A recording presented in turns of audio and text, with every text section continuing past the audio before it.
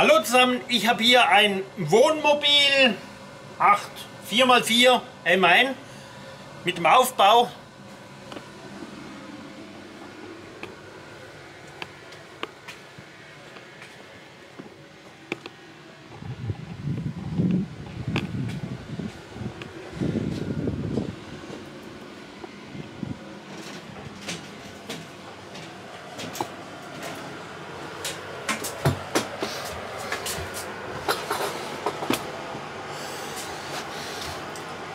Und ich habe hier einen Kühlschrank, einen 1500er von Wemo und der kühlt nicht.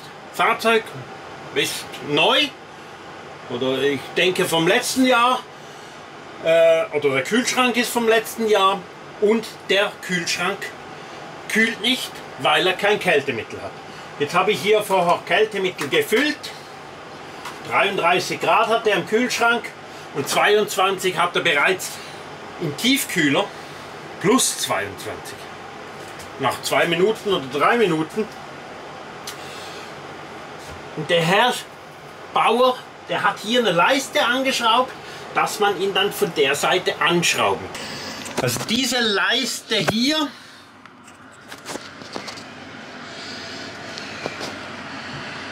sieht vielleicht schlecht. Und ich habe hier und dann hier diese Leiste hier drüben. Und hier steht ein Zettel, Instruktionen, bla bla, ist zwar in Englisch und nicht Deutsch und ich kann das auch nicht Deutsch. Hier drumherum darf man nicht reinbohren. Also hier 8 cm rum laufen die Rahmenheizungen für den Tiefkühler. Und ich habe war mit dem Lecksuchgerät gerochen, ich finde hier ein bisschen Kältemittel drin. Und hier dasselbe, diese Leiste, ich vermute eines dieser Löcher, aber das kann ich hier nicht im Wohnmobil reparieren. Von der Belüftung her, ich habe oben Abluft und unten zwei Luhlüfter, das müsste reichen. Aber wir haben jetzt momentan draußen, ich sage mal ganz äh, 34 Outdoor-Temperatur steht hier schön 40 Grad, aber da brennt irgendwo eine Sonne und innen drin haben wir 32. Also wir haben Hochsommer. Hier haben wir immer noch die 32 Grad im Kühlschrank und die 14 Grad im Tiefkühler. Es geht jetzt im Moment bis er runter geht. Wir sehen, wie er hier sinkt. Ein ausgefronstes Aquariummeter. Weiter habe ich hier den Füllstand, hier drin ist Kältemittel drin und hier sehe ich jetzt, dass der Tiefkühler, oder wir haben ja nur ein Kühlsystem, das Kühlsystem hat jetzt eine Temperatur auf dem Kältemittel von 0 Grad. Damit kann ich den Tiefkühler kühlen.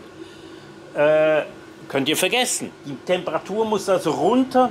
Nur bei 32 Grad Innentemperatur ist das eigentlich normal.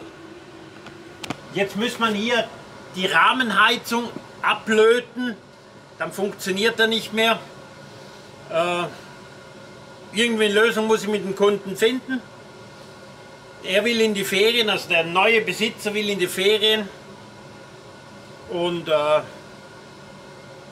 heute noch, und es ist äh, kurz vor Feiert, Feiertag, also 1. August, das ist ein heiliger Feiertag in der Schweiz. Wir werden eine Lösung finden. Hier verlinke ich euch ein Video Kältemittelstand prüfen und ich wünsche euch einen schönen Tag.